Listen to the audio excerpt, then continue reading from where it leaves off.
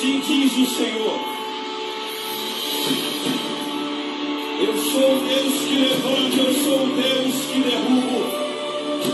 Eu sou o Deus que tira a vida e dou a vida. O medo é um mecanismo de preservação da espécie humana.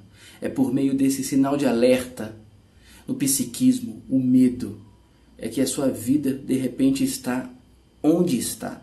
É ele que te livrou de situações quais certamente comprometeriam a sua existência nesta terra. É absolutamente normal ter medo, é saudável ter medo. O que não é saudável é se permitir paralisar pelo medo. Inclusive no livro A Arte da Guerra, eu falo muito do livro A Arte da Guerra, te estimulo a ler tal livro. Ele diz que só existe um único tipo de soldado que não tem medo: é o burro. Este, inclusive, a gente já deixa logo na linha de frente. É os patriotas, né? É os otariota. Vai logo, ele já morre logo na primeira rajada.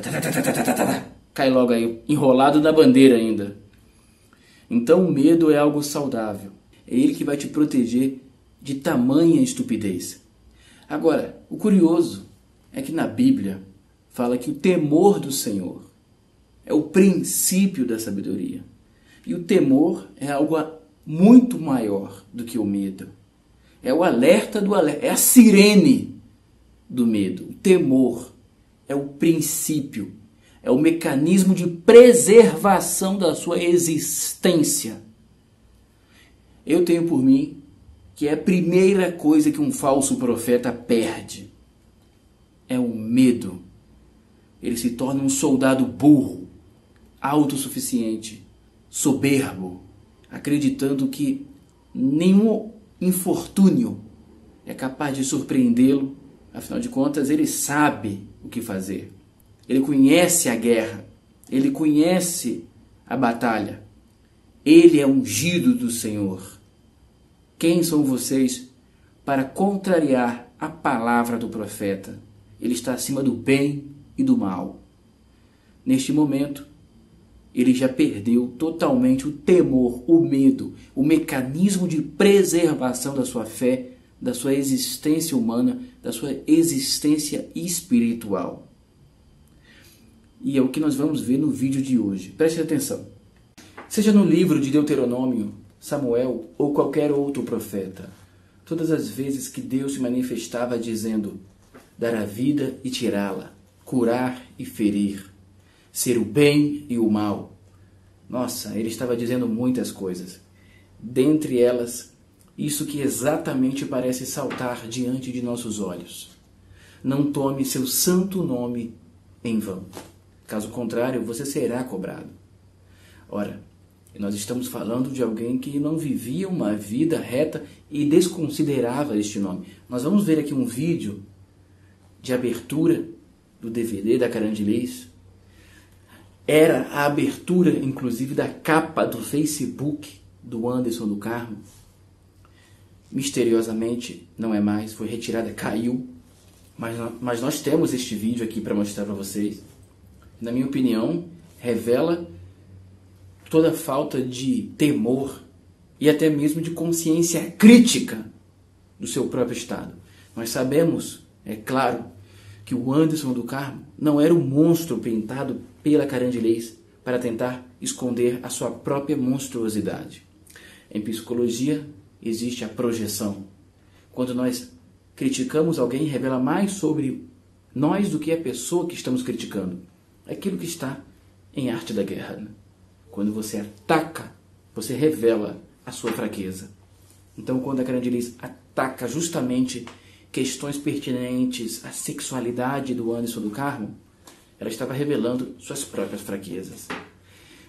Agora, mas, porém, todavia, no entanto, sem embargo, o Anderson não andava com a Carandilis por ser o melhor homem do mundo. Ele andava ao lado dela como diz o ditado, né? Diga-me com quem andas, que eu te direi quem és. Não apenas isso, mas eu direi também se és. E se tem uma coisa que não havia naquela instituição, eram pessoas, pelo menos nos seus últimos anos, né? não sei no início, mas da metade para cá, usadas por Deus. E este vídeo, na minha opinião, é emblemático. Vou soltar aqui para você. Olha só. Assim diz o Senhor. Eu sou Deus que levanta, eu sou Deus que derrubo.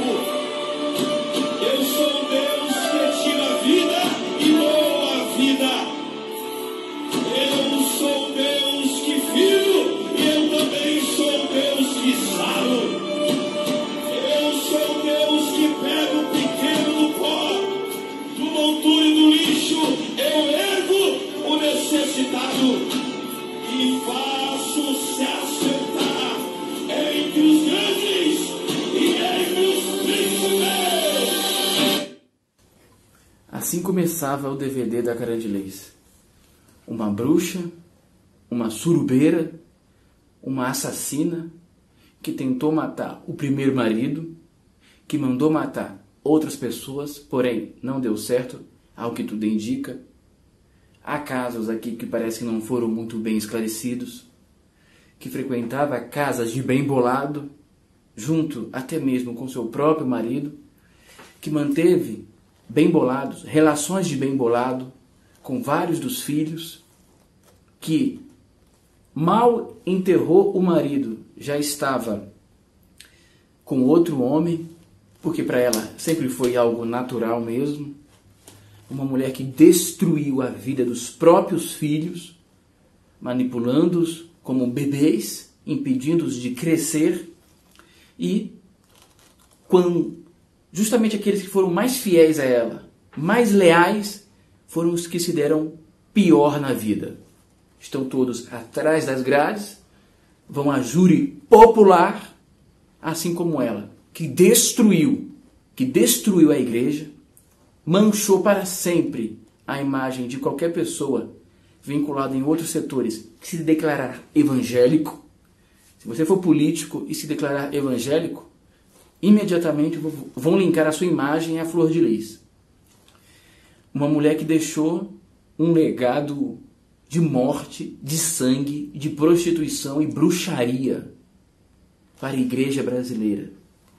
Meu Deus do céu! E aqui está o seu companheiro abrindo o seu DVD, dizendo uma das frases que justamente Deus tentava nos alertar. Ora, saibam com quem vocês estão lidando. Eu sou o Deus que dá vida e tira. Eu exalto e abato. Não tome esse santo nome em vão.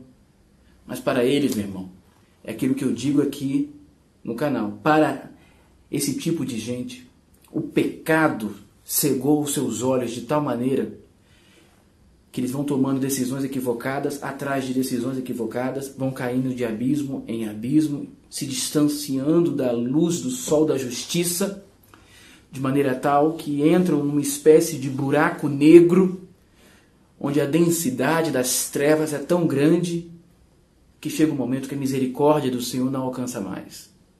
E o que, que ocorre? Ocorre toda essa tragédia aqui, ó. Olha isso, mano. Olha a quantidade de pessoas aqui. Que absurdo, mano. Multiplica isso daqui por milhões e milhões de pessoas que se chocaram com essa história e vão se chocar com documentários que virão, com reportagens que virão, com filmes que virão relatando barbaridades que você ainda não faz ideia. Que eu tenho certeza que agravarão ainda mais a Carandilis no júri popular. E essas pessoas tomando o nome do Senhor em vão. Porque para elas, Pai, Filho e Espírito Santo, patati, patatá e bozo é a mesma coisa. A Carandilis perdeu totalmente há muitos anos este mecanismo de preservação da sua fé, da sua existência nesta terra. O temor do Senhor é o princípio da sabedoria. Você vê que todos naquela casa usavam o nome do Senhor de maneira vã, de maneira sem nenhuma responsabilidade. Ela foi para a cadeia dizendo fé em Deus. Nada vai me acontecer. Amo vocês. E ainda teve um otário, um otariota, que enrolado certamente numa bandeira, gritou: É na fornalha que Deus livra Daniel. Curioso é que Daniel foi preso injustamente, não acusado de ter mandado matar ninguém, não acusado, inclusive, de estar presente nos momentos do papapá. Daniel foi preso porque orava ao Senhor. Olha que dois pesos e dez medidas. E é esta mulher que vários pastores pediram durante tantos e tantos meses aí, até mesmo anos, para que tivéssemos misericórdia. Vamos ter misericórdia. Vamos pedir a Deus para que a alma dela venha a ser salva. Vamos ter a dúvida. Ah, vamos esperar a condenação do ministério público.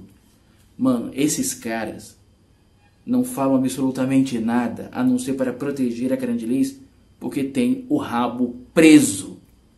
O rabo preso sabe que também há podres na vida deles que se vierem a você viu aí o Antônio de Paulo, né? Foi querer usar a Carandilis de palanque. Ele que passou todo esse tempo sem dizer absolutamente nada, fez um excelente discurso porque é um grande orador, foi uma grande estratégia de marketing, justamente no ano véspera das eleições, foi uma grande estratégia de marketing. Entretanto, recebeu, evidentemente, uma retaliação. Logo moveram os pauzinhos ali, deram uma busca e apreensão. Ele já vem dizendo aquelas coisas ali há muito tempo. Se fosse para a PF bater na casa dele por conta dessas coisas que ele vem dizendo, já teria ido lá. Justamente agora, depois que ele subiu ali e largou o aço na cara de Liz. Ora, não sejamos meninos, não é mesmo, cara? Não sejamos meninos. E é por isso que a Carandilis, achando estar acima do bem e do mal, achando ser ela que dá a vida e tira, que fere e cura, é que ela será julgada por sete pessoas comuns representando a sociedade. Olha que absurdo, né? Olha que algo contraditório. Ela que se dizia acima de todos, que quando entrava na igreja era aplaudida de pé pelos presentes, agora será julgada por sete pessoas anônimas comuns que nunca tiveram nem sequer metade ali da fama dela e talvez nunca, go nunca gozarão. Pessoas que não têm advogados no plural, mas que eu tenho certeza que serão escolhidas para representar o povo e serem ali um instrumento de justiça. Por isso que eles detestam canais como o nosso aqui. Porque essas pessoas certamente estão inscritas aqui neste canal. Eles sabem o poder da influência que há um cara que não está recebendo nada para defender, não está recebendo nada para atacar, que está tentando ser um canal de justiça divina nesta terra, nessa terra de tanta injustiça. E como eu disse desde o início, o sangue de Abel clama pelo quê? Por justiça. Numa só tacada, ela dizimou uma família inteira, porque o sentimento de impunidade consumiu a Michelle, consumiu a dona Edna. Mas agora eu tenho certeza absoluta que de, de alguma maneira da qual nós não conhecemos, elas estão em paz. Elas estão sentindo que houve justiça. Eu não tenho a menor dúvida. Mas nós ainda veremos quando a juíza bater o martelo. Você já imaginou, velho? Já parou para pensar nisso? A Lins colocando a cabeça no travesseiro, atrás das grades, onde não há câmeras, não há pessoas para manipular, não há nada. Só ela ali e outras detentas. Ali ela não precisa esconder nada. Ela olhando as estrelas por entre grades e pensando: Cara, eu destruí tudo. Eu acabei com tudo. Porque eu me achei acima do bem e do mal. Porque eu nunca temi ao Senhor. Porque eu tomei o nome dele em vão. em muitas vezes, mesmo sabendo que ele exalta e abate quem ele quer. E eu não estava ali por agradá-lo, eu estava ali pela misericórdia dele ainda, porque o povo, de alguma forma, ainda não estava pronto para receber, conhecer a verdade. Perdeu totalmente o temor ao Senhor, o mecanismo de defesa da existência humana. Que você possa guardar, mais do que ninguém, o temor do Senhor na tua vida. Que ele seja o princípio da sabedoria. Que ele te preserve a sua existência, a sua espiritualidade, o seu estar nesta terra, o seu propósito de vida. Curta o vídeo, ative o sininho, se inscreve no canal e a paz pela espada.